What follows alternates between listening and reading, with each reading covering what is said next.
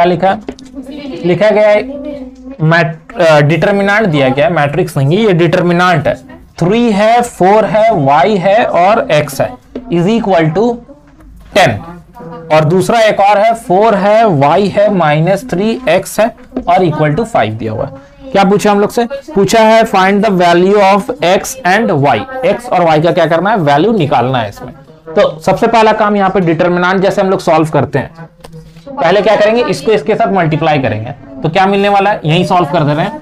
ये हो जाएगा three X minus four Y equal to ten इसमें जब ऊपर से मल्टीप्लाई करेंगे तो four X plus three Y equal to five अब यहाँ पे दो इक्वेशन आ चुका है।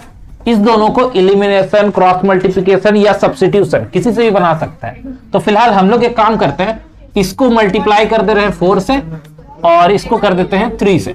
तो क्या मिलेगा? फोर से इंटू करेंगे तो बनेगा फोर थ्री जा ट्वेल्व एक्स फोर फोर जा सिक्सटीन वाई और ये हो जाएगा फोर्टी ये थ्री फोर जा twelve X plus three three जा नाइन वाई और इक्वल टू फिफ्टी इसको माइनस इसको माइनस इसको माइनस ये कैंसिल हो गया. ये दोनों ऐड हुआ ट्वेंटी फाइव वाई इस दोनों को ऐड करेंगे तो कितना होगा? फिर से ट्वेंटी फाइव हो जाएगा ये.